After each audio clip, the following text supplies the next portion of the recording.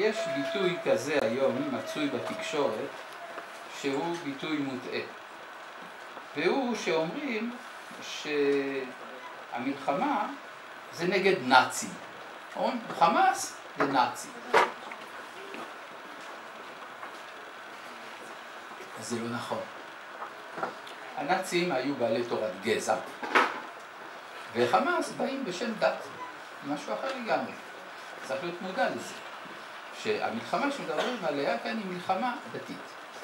ולכן, הדבר הזה מחייב את הישראלים גם כן להכיר בזה שזו מלחמת דת, וזה מאוד קשה כי אף אחד לא רוצה את הדת הזאת, במיוחד הדתיים. הדתיים רוצים שתשאיר אותם בבית הכנסת, בבית המדרש, אל תבקש מאיתנו אחריות אוניברסלית על מאבק הדתות בעולם. אנחנו לא רוצים.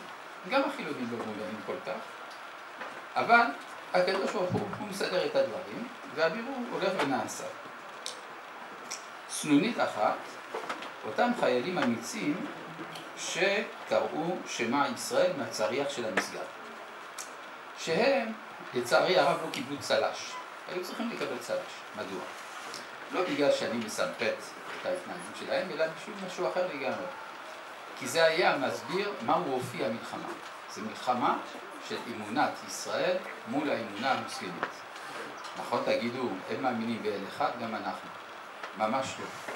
הם מאמינים באל אחד שמבטל כל מה שאיננו הוא, ואנחנו מאמינים באל אחד שכולל את כל מה שיש. ואתה מחיה את כולם. יש הבדל בין אחדות אינקלוסיבית לאחדות אקסקלוסיבית, כלומר אחדות מכלילה או אחדות מפקיעה.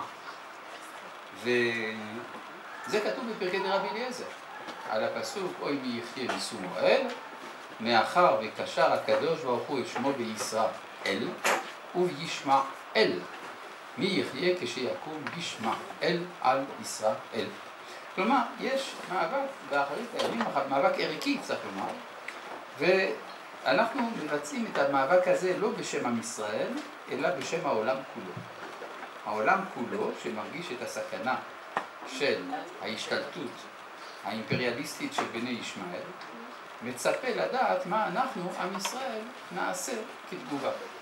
ולכן, כשאנחנו אומרים שאסור להיות חלשים ולהיכנע ללחצים, ללחצים רגשיים אלה ואחרים, זה לא רק אסטרטגיה של מלחמה, זה בעצם מסר לעולם כולו, המחויבות שלנו לעולם כולו. וממילא גם לקידוש השם בעולם כולו.